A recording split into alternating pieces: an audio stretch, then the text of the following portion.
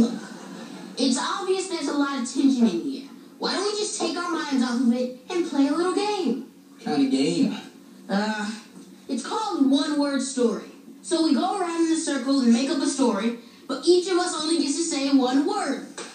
I'll start. This game eats Harry. Okay. I have a game. It's called You Three Lose and I Win a Water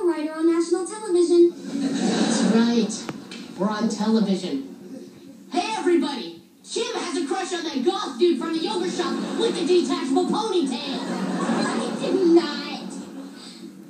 Wait, that ponytail's not real. What are you laughing at? The first night here, Jerry cried for his mommy. What are you laughing at? Milton can't go to sleep without his little bunny.